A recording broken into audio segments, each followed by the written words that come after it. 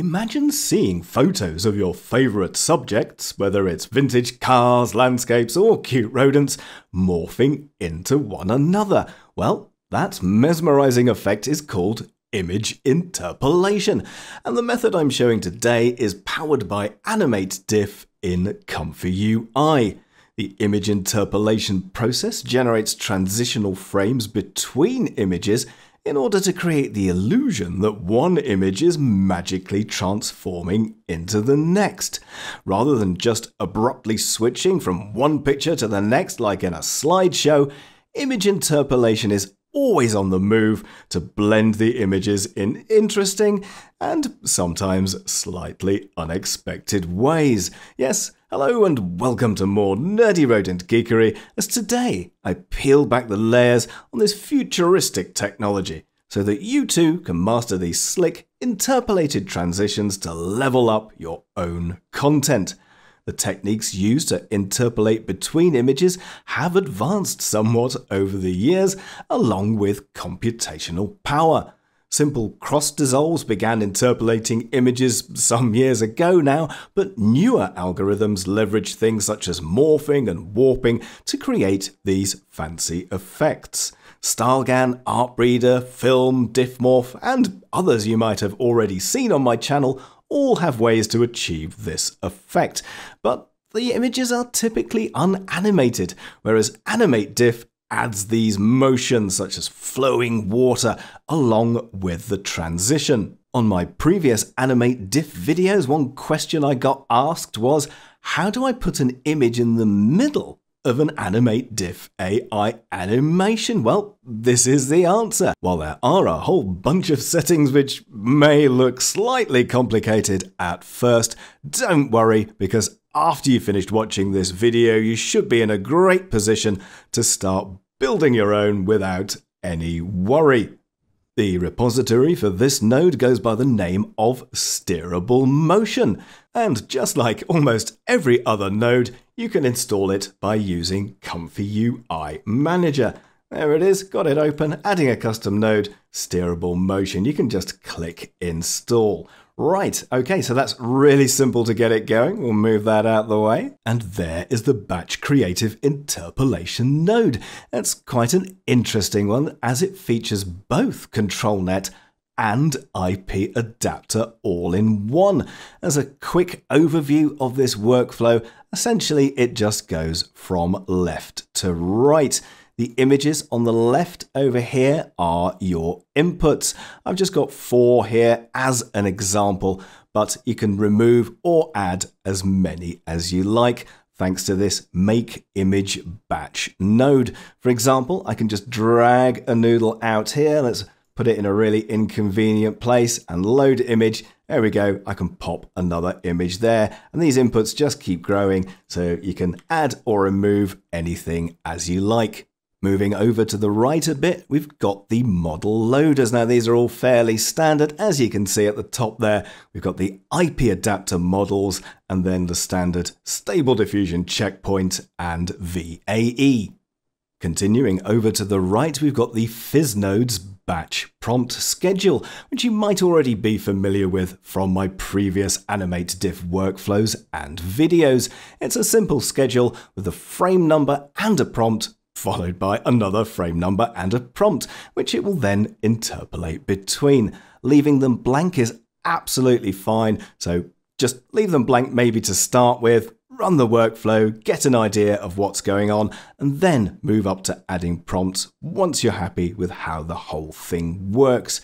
These prompts are mostly to help adherence or just to, you know, add different things in. Maybe you do want to add some flowing water in, or perhaps you've got a nice picture of a rodent, but it ends up like a cat. For example, if we have a quick look at the video we've got on the screen there now, I've got a nice cat and a little bonsai tree, some stairs and a person, and there's an alien, but that alien face is quite different to the one we've got there. So what you could do is add some prompts in at that particular area just to get it looking a little bit more alien like. And of course, just underneath that, you got the standard negative prompts as well. Okay, so next up is the star of the show. We've had a quick look at this already the batch creative interpolation node. It may look complex, but don't worry, after a couple of times running the workflow for yourself, you'll soon get the hang of what's going on here. There's loads of notes over on the side there, and we've got a pretty graph we'll look at in just a minute. For the most part, the default settings are absolutely fine, but don't forget up the top here, you've got your control net name, so there you want to load your tile control net. There are a number of settings here, such as type of frame distribution and this one here, all set to linear. Linear is like a sort of automatic mode, which will make those nice, smooth interpolations for you just by itself. There we've got a default of 16 frames, which is the same as the default context length for Animate Diff. With linear set, you don't need to enter any numbers in these little boxes. They are there, but they don't actually do anything if you've got it set to linear. In order to use the numbers that you put in the boxes, you're going to have to change that from linear to dynamic, and then it will do that instead of that. All right, let's just pop that back to linear. Again, with the keyframe influence and control net strength, you've got options for linear and dynamic, all of which are perhaps best understood by looking at the little graph you get over to the right. Here at the top of the graph, we've got a very handy legend. So, for example, if you're looking for the control net strength distribution, which goes from 0 to 0.4, there they are. So, you've got a green one, a red one, these solid lines. So, there it starts off at 0.4, drops down to 0 then you got this next one here starting from naught, going all the way up to 0.4 and then back down again. And the same for all of the other control nets because it's linear. One thing you may want to do is just play with the values to see how the graph comes out. And the easiest way to do that is to disable these other nodes. You can bypass them or set them to never. Either will do. So let's turn that one off and we'll uh, bypass that one just to show it doesn't make any difference. There we go. We'll set that to never. Right, so all it's doing now is it's just going through, it's going to load your images, load those, load any prompts, and then run this node, which is fairly quick, and then you can get the output of this graph. Okay, so let's give that a go and see what happens. All right, so say I change that 128 to 90 and then queue up a prompt. How do you think that is going to change the graph? If your answer was, it's not going to change the graph at all, then you're completely correct because remember, I've got this distribution set to linear. All right, if we change that to dynamic, then it's going to use the numbers which I used. And as you can see, now the graph looks completely different. To turn the groups back on again, you can just set nodes to always. We'll do it for that one, that one, and that one as well. There we go. So now we've got all the nodes back on. Those final groups are all just pretty standard. For example, here we've got the animate diff one, which goes into a K sampler, which then pops over to image interpolation to help smooth that animation out a little bit, and finally a video save node as well. Okay, so let's just run this through. Now to start with, I'll take that image 5 off. So we're just doing four images. Let's pick a couple of random ones in here. There we go. All right, so now we've got a completely different set of images. That's basically all on defaults. We've got nothing there in the prompts. These are all on the defaults here. We've got linear so let's just run that through and see what comes out. Now, of course, being an animation, this will take a little while, so I'll speed up time now.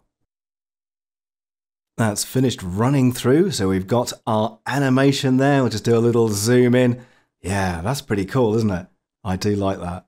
See, everything's moving as it goes through, so it's not just translating one image into the other. It's keeping them moving the entire time. We've got these little bits and the hair. Now, you might have noticed that I don't actually have a person in there. It's turned that into a person, even though it should be a little alien. Now, as mentioned, you can change that in this batch prompt schedule up here. So you'll have to have a look at the frames, compare it over to the graph here, and you'll see, okay, so that's image number three. So I'd probably want to maybe start doing some prompt interpolation between 20 and 50, that sort of thing. Another thing you can do is to change the control net weights.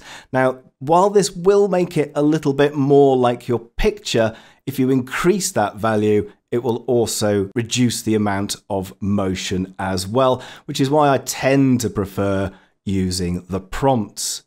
If we also take a quick look at this video as it transitions there into the last frame, you may see, oh, hang on, that's lasting a little bit longer than all of the others. Well, that's because I've got the batch size set to 84 down here. So it goes well beyond that graph and essentially just stays at that level. Of course, if we wanted to have it a little bit lower, so it's a bit more linear, you could drop that down to 64 and that is your animation length. Like it says there, batch size would be the number of images you want to generate plus the interpolation buffer size, which is four. By default, you've got those four there, which is the buffer in this node.